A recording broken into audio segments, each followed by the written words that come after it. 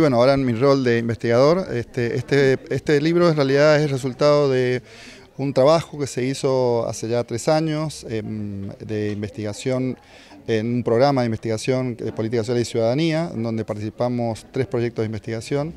Y bueno, la verdad que hoy es, una gran alegría porque es el primer gran producto colectivo, digamos, del programa, en donde han participado, bueno, quienes venimos dirigiendo proyectos, pero también han participado los integrantes, los becarios, así que es un libro colectivo en el sentido que también de amplia participación, la gran mayoría de sus artículos son también de, coautorías, eh, porque la idea justamente fue reflejar en un producto la tarea que venimos haciendo en el programa desde hace ya varios años. Sí, este libro justo se, terminó eh, cuando empezaba la pandemia.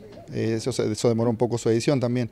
Pero en realidad también otra cosa interesante de este libro fue que está muy enfocado a la realidad sanjuanina. Hay estudios enfocados absolutamente en la realidad sanjuanina, cosa que nos interesaba y nos interesa mucho, o sea, cómo empezar a pensar la, política social y los programas sociales en la realidad sanjuanina. Y bueno, hay un estudio, por ejemplo, sobre el barrio Manantial, lo hicimos una encuesta, hay otros estudios sobre otros barrios, hay un estudio sobre programas sociales de, de la provincia.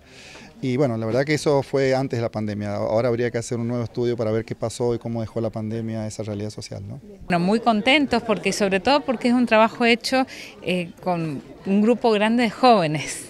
La mayoría de las y los investigadores son jóvenes, eh, así que bueno, que se están formando o que bueno, están empezando sus carreras como investigadores, investigadoras y algunos ya consolidados. Entonces, bueno, como trabajo colectivo muy contentos y contentas. Bueno, el libro tiene lo interesante, tiene como dos partes. Una discusión a nivel regional de lo que está pasando en, Latino, en algunos países de Latinoamérica con las políticas sociales.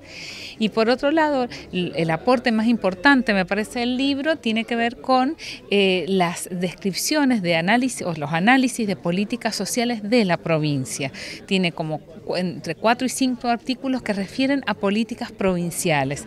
Entonces, bueno, que eso por ahí, las discusiones o los trabajos de políticas sociales son más a nivel nacional o estudios del conurbano bonaerense en su mayoría. Entonces, la particularidad y el aporte de este libro es sobre todo ese aporte. ¿no?